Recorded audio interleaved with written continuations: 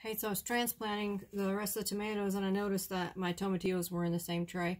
So a lot of people don't plant tomatillos because they don't understand what to do with them.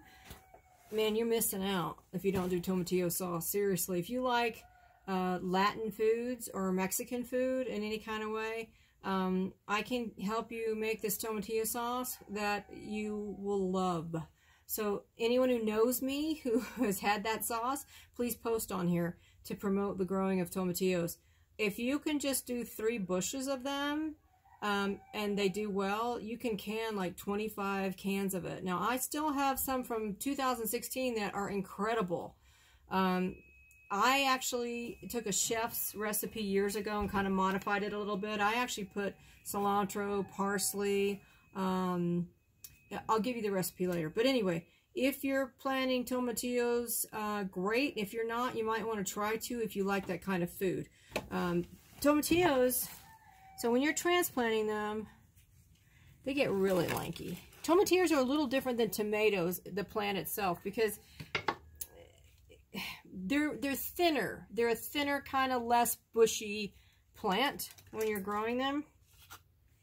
Now this one again, you know, it's uh, stronger. Look, it's stronger than a tomato, but it's still tall and lanky, and it will grow that way. It will grow in this pot and hang over actually a little bit before I get it into the actual ground because it gets really tall and thin-leaved at first, where tomatoes will bush out a little more, right? But just try tomatillos. That's all I wanted to say. I, I forgot to bring that up whenever I was doing transplanting tomatoes.